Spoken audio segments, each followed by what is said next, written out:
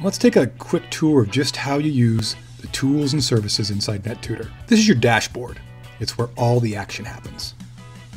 Now if you're here to meet with a live tutor, just click here and you'll be on your way. And if you're wondering just when tutoring might be available for your particular subject, you'll find that right here. Now let's say you don't have time to talk to a tutor right now.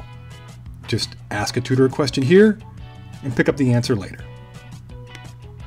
Now maybe you're here to drop off a paper you've been working on to get it reviewed. Dropping off a paper is a simple process. Just give us a little information, upload your paper, and sit back as our world-class reviewers do the rest. You're going to be doing lots of great stuff.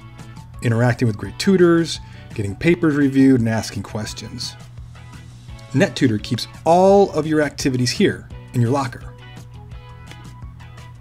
Take a look at recordings of your previous tutoring sessions, grab one of your reviewed papers, and check out the answers to the questions you've left for a tutor. The locker is your space for all your great Tutor stuff. So that's NetTutor in a nutshell. I hope you found this quick tour helpful. And remember, we're here whenever you need us.